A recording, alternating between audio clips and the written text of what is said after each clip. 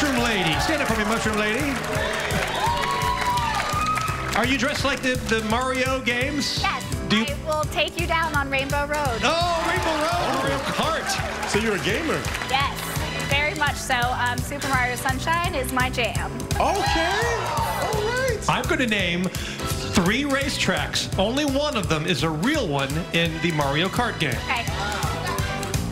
Deep Canyon, Okay. The Icy Tundra, Okay. Moo Moo Meadows. And MLK Boulevard. what? No.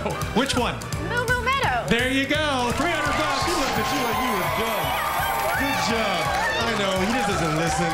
Give a big round of applause. Thank you so much for joining us. From Cat, Tiffany, Jonathan, I'm Wayne. Thank you so much. We'll see you next time right here. on Let's make a deal. Bye-bye. Love you, mama.